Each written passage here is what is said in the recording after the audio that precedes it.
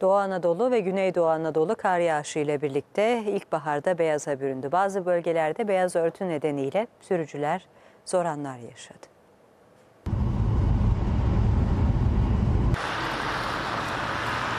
Evler, yollar, araçlar ve ağaçlar.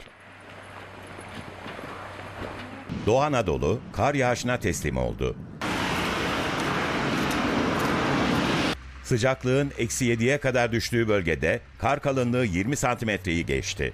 Sokaklar ve caddeler beyaz örtüyle kaplandı. Uzun süredir beklemiyorduk. Bu kar yağışı biraz bizi şaşırttı. Çarşı esnafı iş yerlerinin önünü, vatandaşlarsa araçlarını temizleyerek güne başladı. Doğu Anadolu'da kar yağışı nedeniyle zaman zaman ulaşım aksadı. Ekipler yollarda kar küreme ve tuzlama çalışmalarını aralıksız sürdürdü.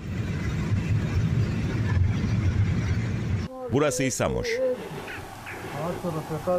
Meralarda hayvanlarını otlatan besiciler kar nedeniyle zor anlar yaşadı. Kış tekrar geri gelmiş görüyorsun.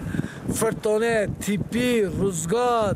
Herkesin içinde hayvanlar içeri almış. Kar yağışı Güneydoğu Anadolu'da da etkili oldu.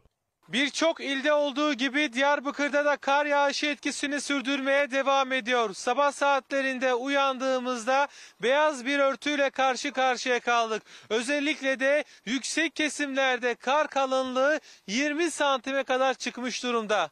ve Kastamonu. Yüksek kesimlerde ormanlar beyaz örtüyle ayrı bir güzelliğe kavuştu. Şehirde kar yağışı sonrası 15 köy yolu ulaşıma kapandı.